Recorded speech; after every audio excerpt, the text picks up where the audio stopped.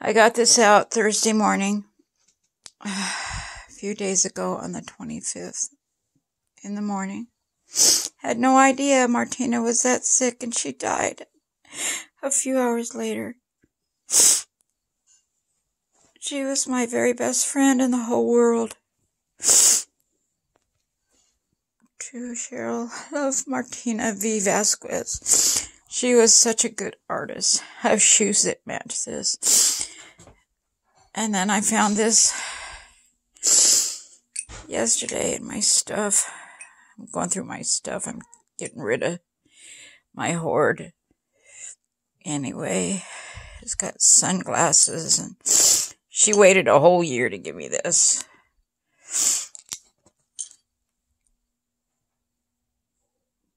December 2000 to my very best friend in the whole wide world, my sister.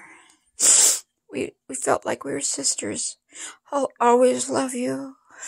I'll always love you, Martina. She's gone. I'll see her again. I know I will. Everybody loved Martina. And I miss her so much. We met in August 1977. I invited them up to go in our motorhome. Her and her husband and her nine year old son and my nine year old son, or her son was a year older than Tim. And we went up, we had our little motorhome and we went camping up at Mount Laguna. And I invited them to go for a picnic lunch. They were total strangers.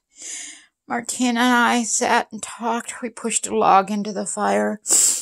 And then we realized the sun was coming up and the log had come to the end. Anyway, that was the beginning of a lifelong, decades long friendship. I can honestly say I loved her more than anybody in this world. I loved her more than my mother. And I miss her. I won't see her again. She was, she wasn't even 70 years old. Buggers, you would have loved Martina. Anyway, I'm struggling. I really am. I've been crying every night, every day.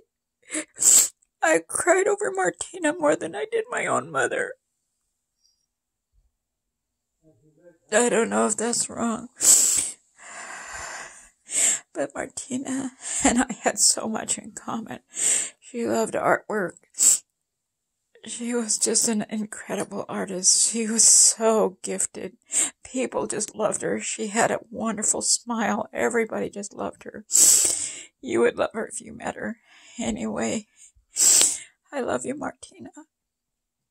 I'll see you again.